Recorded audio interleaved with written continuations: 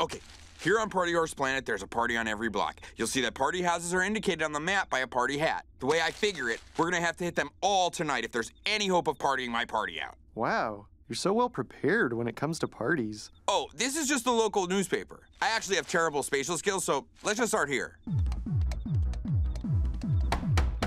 Dudes, welcome to the Colonial America party. Come inside and get your Delaware on. Woo! Amigas, Mayo St. Patrick's Day Fiesta. Bros, welcome to my purple prom. Rental tux is in the back. Opa, tie-dye toga party. Daddy bathing suit party! Makeover Madness Party! Family Portrait Fest. Aerobics! Lobster party here. that was awesome! Yeah. You get the partying out of you yet, party horse? Uh, I still want to party. Have we done all the houses yet? Uh, yeah, I think that's all of them. Uh, what about that one?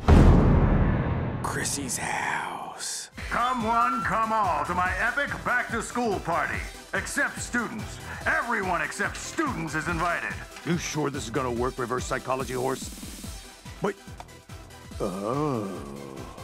Yeah.